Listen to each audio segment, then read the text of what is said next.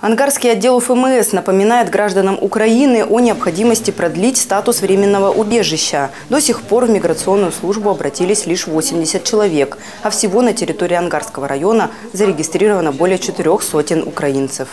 Продление статуса временного убежища идет на год.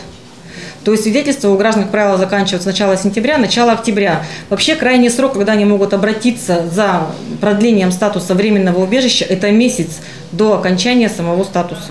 Для продления статуса необходимо обратиться в кабинет номер 10 отдела. При себе иметь оригинал свидетельства о временном убежище, копию действующей регистрации по месту жительства и заявление.